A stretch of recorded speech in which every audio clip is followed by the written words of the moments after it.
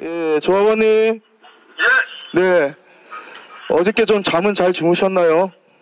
예, 뭐 이것저것 생각에 밤잠을 설쳤습니다. 아유, 고생이 많으십니다. 식사는 좀 하셨어요? 예, 식사를 했습니다. 뭐 하루 한 끼 뭐 뭐 몇 끼 안 먹고 몇, 뭐 며칠 안 잔다고 해서 뭐 어떻게 되겠습니까? 우리 생존권이 달린 문제인데. 예, 그래도 항상 건강 잘 챙겨주시고요.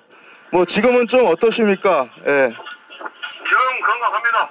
예, 소형 타워크레인에 대한 그런 문제점이 많지 않습니까? 그래서 20시간 교육 이수만으로 누구나 조종이 가능한 소형 타워 그리고 4년간 30번 이상 사고가 발생한 소형 타워 크레인을 이제는 더 이상 우리가 묵과할 수가 없습니다.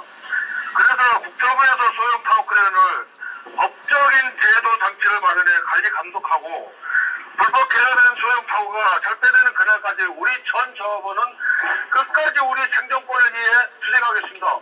수행! 네네. 예, 예, 그리고요.